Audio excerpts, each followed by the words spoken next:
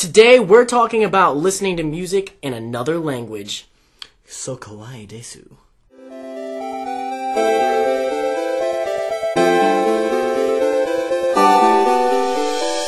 What's up, everybody? We're talking about foreign music. Foreign from America, that is. Yeah, well, foreign for whatever language you're watching this in. If you're watching this in another language with subtitles, Mm-hmm. you know, same thing. Um, basically, what we're talking about is how when we grew up, and this is the way most people are, and especially in America right now, Mm-hmm. is we only listen to music in English, English. in our language, and most people in our country The common tongue. Yeah. Most people in our country will only listen to music in English, In English. which doesn't seem like a big deal. Nah. You know, you think, well, obviously I speak English, why would I listen to it in another language? Well, let me tell you why. There's so much music out mm-hmm. there. So much good music that honestly sounds completely different from anything that we have here. Or, in some cases, sounds just as good. Yeah, or sou- well, I'm not saying it's not good just because it sounds different. Like, well, what I'm saying is it can sound the same as American music, just in another language, and it can be really different. Like, sound almost like a different genre that we don't do here.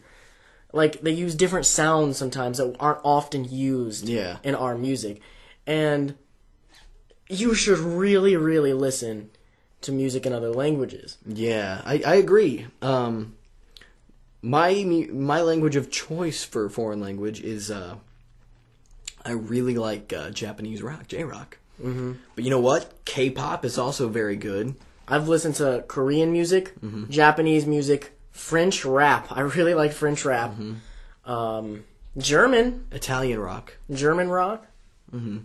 Uh, there's a just a lot of good music out there that's in other languages, and as soon as you can get over that barrier of this, I don't understand this. I don't understand what they're saying. These lyrics obviously mean nothing. Suddenly, it becomes really, really good, and it's honestly gotten to the point for me, and I know for Dakota as well, that we hear a song in another language, and we don't even like register. It's just like, oh, that's a good song. Yeah. Mm. Yeah,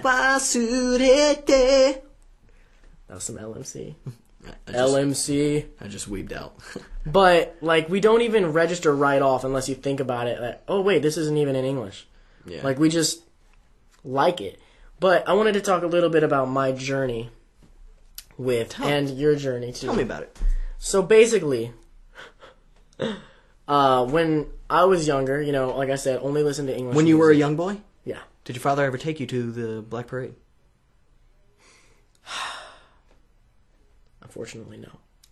Dang. But I only listened to English music, and you know, I thought that was fine. And then I started getting into anime. I started seeing anime openings, and I'd be like, "Oh, these are really good!" And of course, anime openings are in Japanese, and For the most part. for the most part. So I got to the point where eventually I was like, okay, I like anime openings and I'll listen to openings, but I'm not going to listen to that Japanese crap. Like, I'm not going to listen to the music, like the other music. I'm just going to listen to the openings. Those are clearly different. One day, I don't know what it was. Like, I think I was looking up an opening and it like linked me on YouTube to another one of that band's songs. And this band was Back On. Uh, which is basically the Japanese Linkin Park. Oh, you should okay. look them up if you've never heard them They're called Back On. I've been wanting to look them up. back on. Yeah. And uh, I just started listening to the other of their songs, and I was like, "This is amazing!" And I called my brother in, and I was like, "Listen to this song!" And we were like singing along with it, obviously speaking gibberish.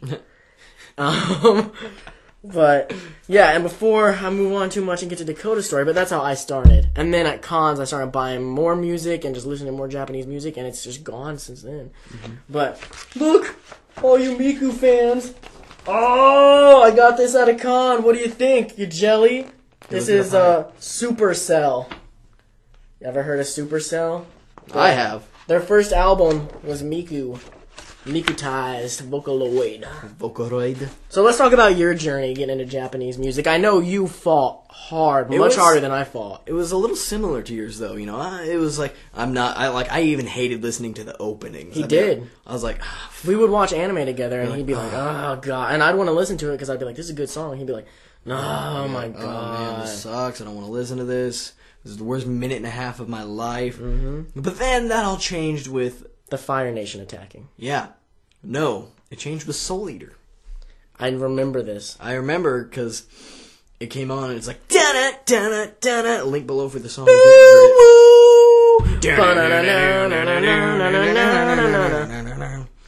Sumai na tamasha ino kira. Okay. Um.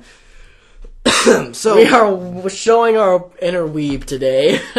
Uh, so that kind of did. it. I was like, this song's kind of good. And then you know, after that, I was just like, well, maybe I can kind of. I don't know what the transition was, honestly. I think at the time I was still also kind of watching. Uh, we were also still sort of watching FMA. you liked the FMA songs a lot. I did. I did like those. Uh, I do know. I think one thing that helped a lot was probably going to Anime Crossroads that first time because they played a lot of Japanese music just all over there. And then you were in my car, and I listened to Japanese music on the way there and back. I I kind of was helping to expose him, but it was helping to expose him to it. Like, and I think that in the end, that helped a lot. Yeah, it did. Um, but I do want to make a warning. Don't. I messed up when I got into Japanese music. But I do this. I have obsessions that I go through. And maybe we'll talk about that in another episode. But I go through major obsessions where I just. I get on something and that's like. That's it for a while. And uh, Japanese music was one of those things for me where when I first really got into it, like, that's all I wanted to listen to. Just Japanese music, nothing else. Yeah, like I remember, I'd be like, I'd be like, uh, come on, the man, and you'd be like, oh, I don't really want to listen to that, and it's it's in English. Yeah, that's in English. Oh my god. Why would you listen to that? That's so bad. What we're trying to tell you guys in this episode is to listen to music. It doesn't have to be in It didn't have to be Japanese. Japanese. Like Italian rock is really good. Just listen to music in other languages and don't cut yourself off to exclusively that language because then you're doing exactly what you were doing with English. Like just give yourself everything. There's so much good music out there. Like there's great English music, there's great Japanese music. Anything. Think about this. There are bands from America that are absolutely giant in Japan, mm-hmm. and they don't care. And like, say, like uh, my favorite band, Thirty Seconds to Mars. That's my absolute favorite band on the planet. Good band. They're not necessarily. I They're, got you into they're huge here. They're huge in America, but in Europe, Well, they they're giant over there. Like all the posts I see on Facebook and the page I'm in, all of them are from people in Europe or Spain or Italy or Germany. Like they're just giant over there. Like and they they sing in English. So like I, I just thought about this while we were talking about this. They don't discriminate English in other countries. Why in America do we discriminate the different languages here? it's a really weird phenomenon that happens here where like i mean i've definitely noticed over my days that america seems to be pretty xenophobic. Like which if you don't know what that means it's like afraid of things that aren't from america. I mean, there's there's times when we're not. We're like, yeah, we'll embrace that, and then there's times where we're like, mm, yeah.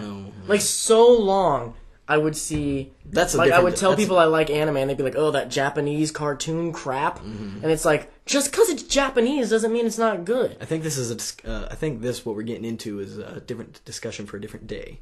you're right it probably could be but um The whole thing we're trying to get at is that uh, we really made our point. You know. Yeah. Listen to music in other languages. Do- Should we tell? Should we throw out some bands that are good? I personally like LMC. Back on Funkist is good. Mm-hmm. Uh, they do some Fairy Tail openings. Who sings Du Hast? Oh, that's Rammstein. Ramen, Rammstein, Rammstein. There you go. You you probably heard of Rammstein, but they sing in German. Um, they these this band I'm about to mention sings mainly in English, but they're an Italian band. You know, so um, let me think. Ah, what uh, Lacuna Coil. They're an Italian like metal band. The they're very very similar. Like if you didn't know going in, you'd probably be like, oh, this is uh, Evanescence, but no, Uh, they're very sound like, but they're an Italian rock band. um, I think too for the Japanese category, especially that can't be left off the list. Let me. I, I bet you I'm gonna guess what it is.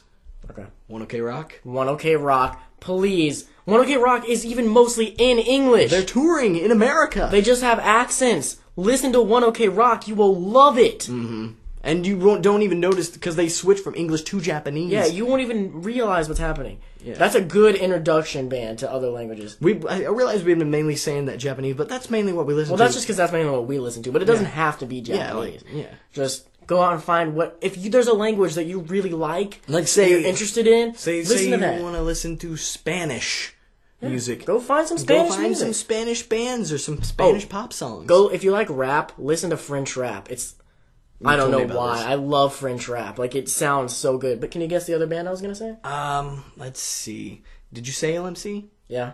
Mm. This is a one that I was big into recently. Recent- Oh, uh, oh crap. Uh, uh, I cannot. Flow. Flow. I knew it was like a one word. Flow is a really good Japanese band. Another one that if I I'm also saying a lot of Japanese ones because I'm assuming our fan base is really into the Japanese culture. They're into the Japanese. Just because you know I come from convention reviews, we're doing nerd culture stuff. That's all Japanese stuff. So um, those are all really good bands you guys should check out. Um, that's pretty much it. I mean, thank you guys so much for watching.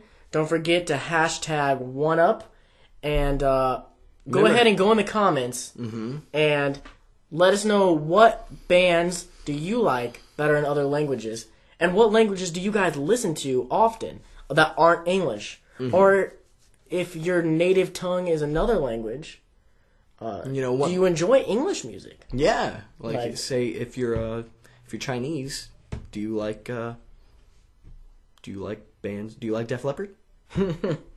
uh, that's pretty much it guys All right, stay nerdy. stay nerdy hey guys thanks for watching If you want to watch yesterday's video, click right here in the center of the screen don't forget to like comment and subscribe and read the description to find our other channels plus our Twitch and more. nice bro You should keep that in.